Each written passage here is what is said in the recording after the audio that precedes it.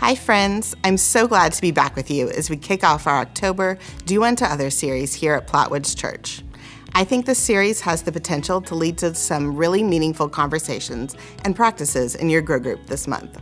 So I'm excited for us to explore this topic together. What I love about this October series is that our church isn't doing it alone. Platte Woods is joining in with over a thousand churches all across the country who are coming together this fall to put into practice the values that Jesus taught us kindness, respect, love, humility, and compassion.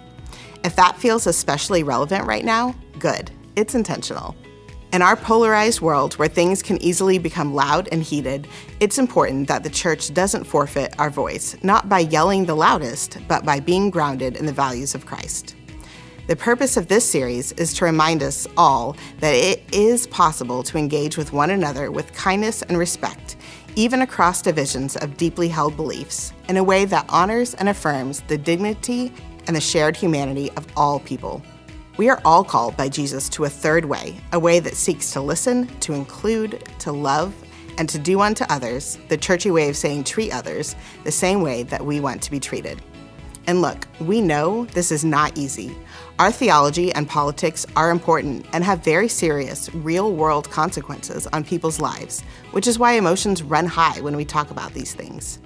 It's natural to feel anxious, protective, sad, and angry when we're faced with upsetting events and rhetoric in the world around us. That's why faith is a practice, and we hope that you'll be able to discuss and practice these values in loving and grace filled conversations with your grow groups this month a place where you're hopefully already building a community of trust and support. Throughout October, let's be looking for ways to encourage belonging, to start with curiosity, and to have courage in our Grow Group conversations. Let's always remember to begin by giving each other the benefit of the doubt and assuming best intentions in all of our interactions. I'm so excited for a month of great conversations and opportunities to practice our faith, and I hope you are too.